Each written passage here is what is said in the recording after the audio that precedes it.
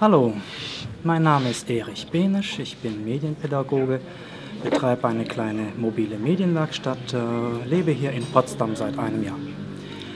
Mein Thema heute, meine Session, ging über ein ähm, Austauschprojekt, nämlich äh, Potsdam und Sansibar wollen oder machen eine äh, Städtepartnerschaft mit dem Schwerpunkt Klima.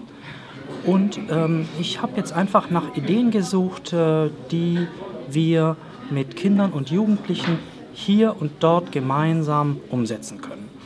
Und ähm, ganz spontan ist mein erstes Barcamp, also ich war ziemlich unbeleckt und habe mir noch nicht viel erwartet. Meine erste Gruppe war auch sehr klein, es war einer nur da, aber der war total vom Fach und das war super. Er, ähm, ja, wir diskutierten heftig über seine Erfahrungen und meine Ideen. Er äh, hatte einen entsprechenden Austausch schon gemacht mit Kiel und äh, Bogota und wir haben also eine Dreiviertelstunde äußerst lebhaft zu zweit sehr konstruktiv und fruchtbar diskutiert.